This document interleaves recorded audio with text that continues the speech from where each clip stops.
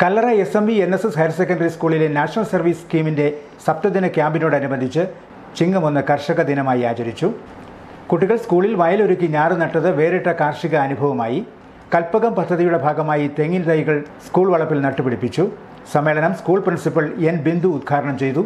കല്ലറ കൃഷി officer Joseph Jeffrey N S S programme officer P Lakshmi school head mistress Lekha K തുടങ്ങിയവർ പ്രസംഗിച്ചു. കല്ലറ പഞ്ചായത്തിലെ മികച്ച കർഷകർക്ക് പുരസ്കാരം നൽകി ആദരിച്ചു